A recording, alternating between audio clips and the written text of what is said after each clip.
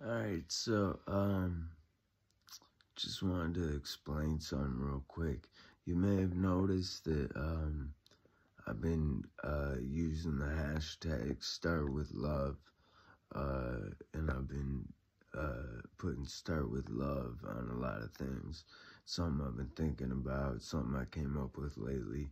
Um, you know, as human beings, uh, when you meet another human being, believe you should start off loving that human being just because they are a human being.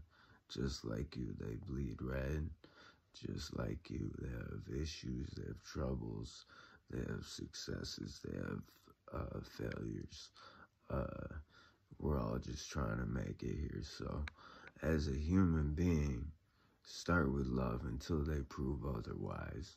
And, you know, people will prove it quick some people hide it for a while and prove it, you know, after a while, but you gotta start with love. So if I meet you in person, I love you automatically because you're a human being and because you deserve love.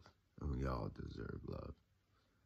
And uh, I hope that uh, that resonates with some people because uh, it's important to me. So. Be kind. Be kind. Start with love. I love y'all because you're humans. Uh, hope you guys are having a, it's kind of late night, so hope you had a good day. Hope you have a good tomorrow.